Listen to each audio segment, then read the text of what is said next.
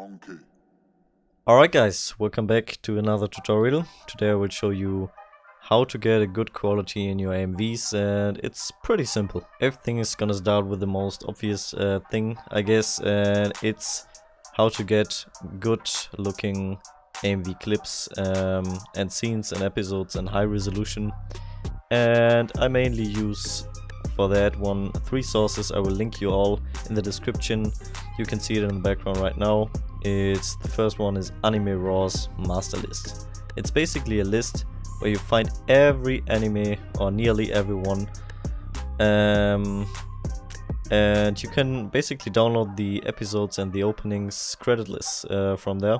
Um, it's pretty simple. You just download it on Mega and you can drag it in in your After Effects and cut the scenes out you want. The second one is Anime Pack List. It's a pack list from weekly AMV contest and it contains many anime packs which uh, include different scenes of every episode or nearly every episode of um, many anime. You can see it right here.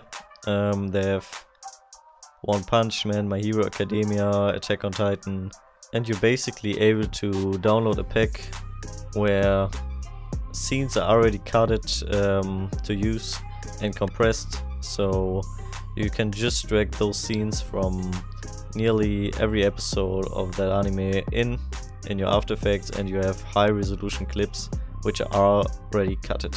I personally use um, only full episodes so I don't often use this site but it's it's really really good to know if you're a bit lazy or you haven't watched the anime so you don't know which episode I could use and then you can just download a scene pack. The next source I use is named nyaa.si and it's basically a site where you can download torrents uh, of the episodes um, Usually I only use it when I want an episode really fast and yeah, they are already out if the episode is out so you can just search it um, uh, download the anime raw of that episode and then you have to convert it and drop it in After Effects and cut it out.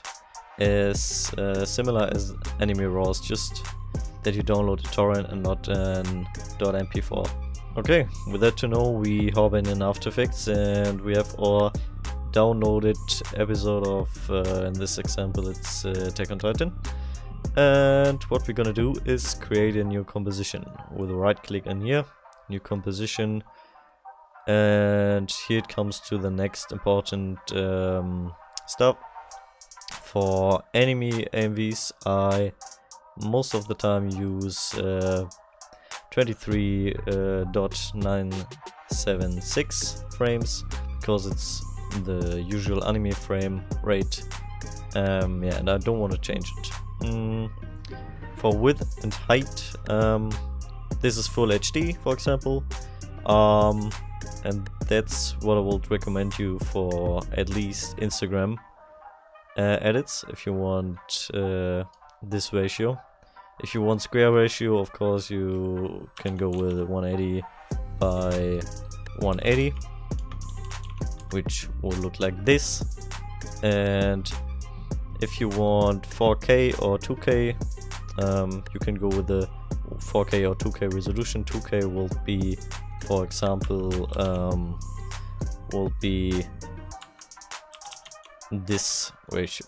Wait, this would be 2K. Um, this is only important for YouTube, I would say, because on Instagram doesn't really make a huge difference um, if you upload in full HD or 2K, especially uh, yeah, on phone. Okay, if you have this done, for example, we go in with uh, um, full HD, which is the most common resolution, I guess. Um, and yeah, we just drag our episode in, which we have here. It's full HD, so you see the quality is really really good. Um, and we just cut our scene out we want to use um, and and yeah I already did that with uh, this scene I want to go with. Just as an example it's not really an edit it's just to show the quality is uh, good after the rendering I do. And I'm gonna add some CC, some color correction and some noise um, like I always do as an adjustment layer. Mm,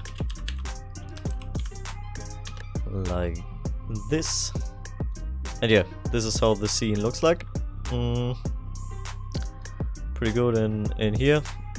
Um, we could also go with um, 2k I want to show you how I do that if I go with 2k so for example we have 2k in here you see oh the file of this is not 2k it's full HD so it's uh, smaller.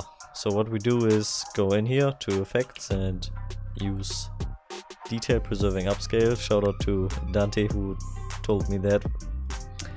Um, yeah basically what you can do here is fit to comp width for example and then everything scales in. And for adjustment you can just copy all the effects for example or scale it in and pop paste it in here. So you have 2k pretty easy. For quality it's uh, it's a bit better than just scaling it up and you can reduce the noise a bit and detail. Yeah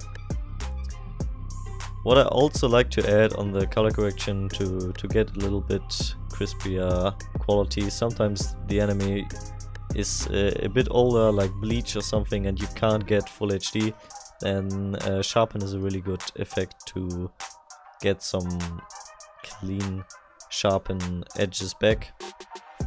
Um, most of the time I go with uh, with something around 14 to 25 or something. Really uh, depends on the anime. Um, but yeah, it will help a bit increasing the sharpen. If we have this done, we can go on composition and add to render queue.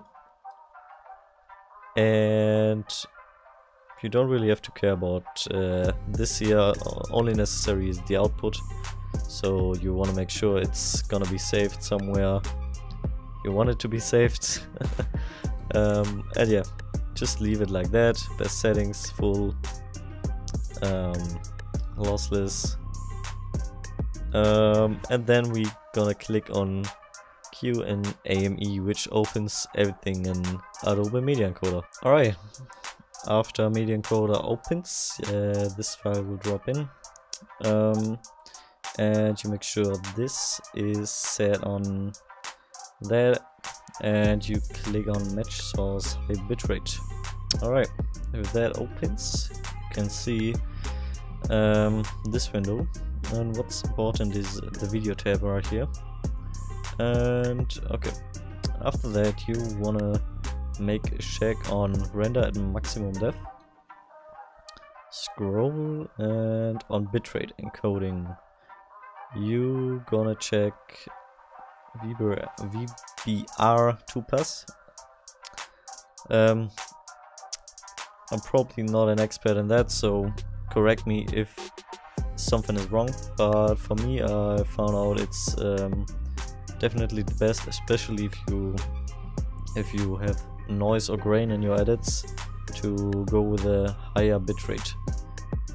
Higher the bitrate, higher the uh, estimated file size, um, as you can see it's getting bigger if I go on right side. Um, yeah, if you have it on full right, probably you will have the minimum loss of, uh, of quality, but the file size is usually way too big.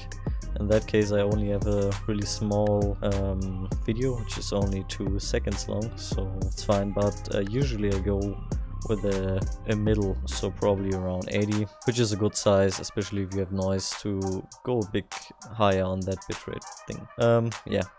Also make sure to check uh, this here, the maximum render quality is turned on, and if you have all this stuff, you can click on OK and select it and render it. After that, the file will render right here and you will find it in the output file you've selected right here. Okay. see you right back if this is finished. Alright, the edit uh, is finished um, with the rendering and we are on Facebook Creator Studio. It's just for Instagram, uh, for YouTube um, you just do the usual uploading um, which is not really complicated but for Instagram many people ask me um, how I upload my uh, videos and which site I, I use. Um, and yeah, I think Creator Studio is way better uh, if it comes to quality compared to uploading it on Google Drive and uploading it then from your phone. So I would definitely prefer this one. Um, yeah, what you have to do to get Creator Studio or get to log in there is basically um, go to the link I put in the description and you need your Instagram account linked to an existing Facebook account. So if you don't have one, just create a Facebook account, link it, and you're able to log in on Facebook Creator Studio. So if you're in here, you just go on uh, create an uh, create and post. Uh, for me, it's in in German. Um, so yeah, but it, it's the same thing. You just click on here, and then you can choose between Instagram feed and Instagram TV. For me, I use Instagram feed. Um, this is basically your caption, uh, as you know from your phone. Um, and yeah, here you can choose the video. We will do that real quick, which is right here um, and then it uploads it really quick. Depends on your internet. You can preview it in here. And the best part of it is uh, it really has good quality if you upload it from there. And you can choose a thumbnail which is right here. You can choose either one of a frame of the edit or go in and use your own thumbnail. Create one and just use it it's similar to YouTube. Another good function in here is you can plan your edits. So if you go on plan and then you, you're able to, I don't know, put in, put a time in, a date where it uploads automatically for you on Instagram. And then all you have to do is um, go on post now, go on post now and that's it basically. I hope this video helped you a bit understanding how I handle my routine of uh, keeping my quality like that. Following month, next tutorials. See you soon.